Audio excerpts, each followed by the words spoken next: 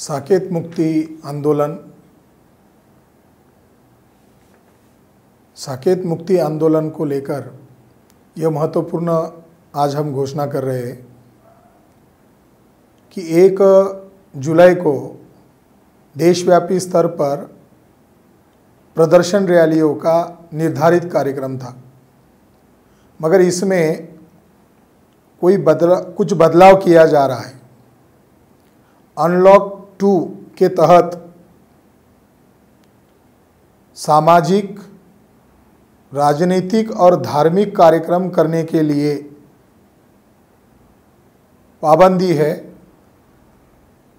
और उसे देखते हुए इस प्रदर्शन रैलियों में बदलाव किया जा रहा है, उसे एक्सटेंड किया जा रहा है और अब यह आंदोलन एक तारीख से लेकर 31 जुलाई तक चलो गाँव की ओर साकेत मुक्ति आंदोलन का अभियान गांव-गांव स्तर तक लेकर जाना है और पूरे भारत भर में गांव-गांव में इस बारे में जानकारी देकर गांव-गांव से भी ज्ञापन दिया जाएगा और इसीलिए ये बदलाव हम कर रहे हैं।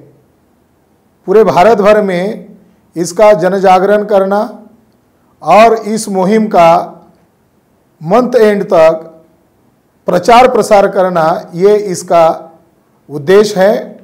और अगले आंदोलन की रणनीति को ध्यान में रखकर और इसमें जो भी बदलाव होगा, इसका समय समय पर जानकारी दी जाएगी। अनलॉक टू का कार्यक्रम भारत सरकार के द्वारा आज 30 तारीख को घोषित किया गया है।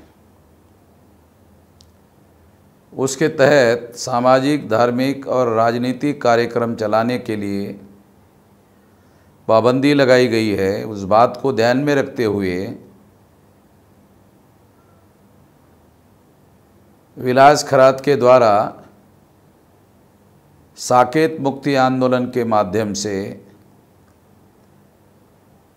एक जुलाई को जो प्रदर्शन रैलियाँ सारे देश भर में की जाने वाली थी, क्योंकि अब इस तरह का कार्यक्रम करना संभव नहीं है, इस बात को ध्यान में रखते हुए कार्यक्रम को बदला गया है। ऐसी जानकारी विलास खरात के द्वारा हमें प्राप्त हुई है।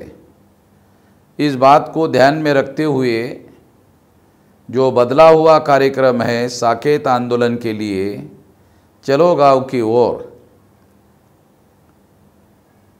इस तरह से ये कार्यक्रम बदला गया है। इस बदले हुए कार्यक्रम को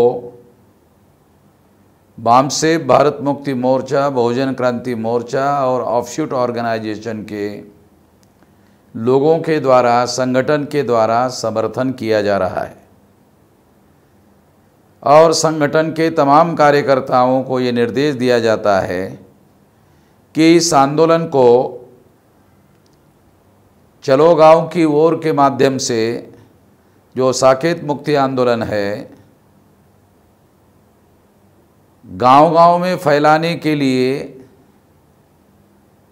हमारे तमाम कार्यकर्ताओं को बुद्धिस्ट इंटरनेशनल नेटवर्क के इस कार्यक्रम को साथ सहयोग करना है और इसके लिए बुद्धि, पैसा, हुनर, समय और श्रम पूरे ताकत से, पूरी शक्ति से लगाना है।